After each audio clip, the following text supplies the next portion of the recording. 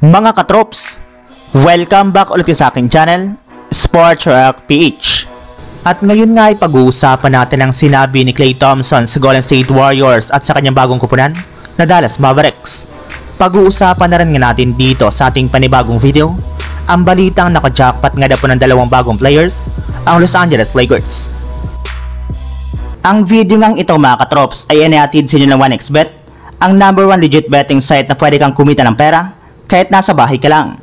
Mag-register lamang sa link sa baba at gamitan ang ating promo code at maaari ka na makakuha ng 7,000 pesos bonus sa una mong deposit. At yes, dito nga po ay hinding hindi ka mabuboring gayong marami kang games na pwedeng pagpilian. Pwede ka rin naman nga pong tumaya sa mga mainit na laro ng NBA, PBA at marami pang iba. Mas pinabilis na rin naman nga po dito ang pag-cash in at pag-cash out gamit ang inyong Gcash.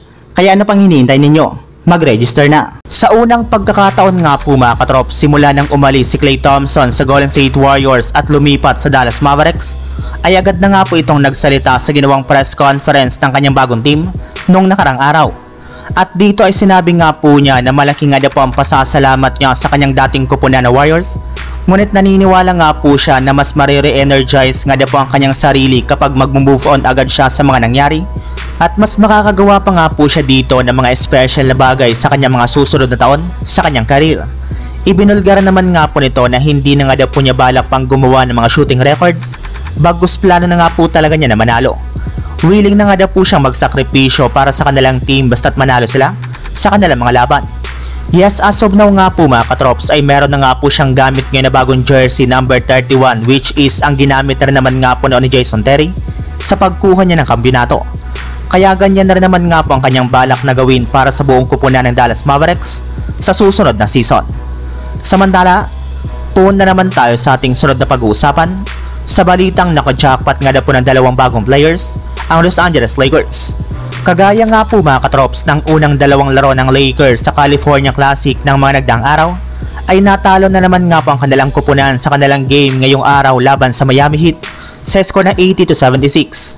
Ngunit sa kabila nga po ng kanilang pagkatalong muli, ay meron na rin naman nga pong magagandang nangyari sa kanilang kupunan lalong lalo na sa kanilang mga manlalaro. Sa katunayan, nagkaroon nga po ng best game dito ang kanilang rookie na si Dalton Knecht sa pagtatala nga po niya ng 20 points at 9 rebounds sa kanyang 7 out of 18 shooting at 2 out of 18 naman sa 3 point line.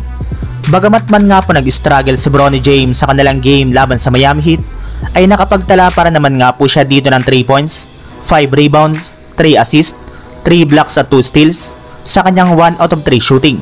Yes, bumawi nga po ito pagdating sa depensa na kinahangaan nga po talaga ng napakaraming mga fans Ika ngay hindi nga na po talaga natuturo sa isang players kung paano dumepensa ng ganon katindi.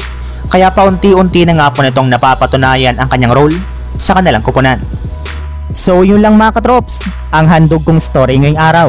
Sana nag-enjoy kayo, please like and subscribe my YouTube channel, Sports React PH para sa iba pang story at update patungkol sa NBA. Kita-kits muli sa ating susunod na video.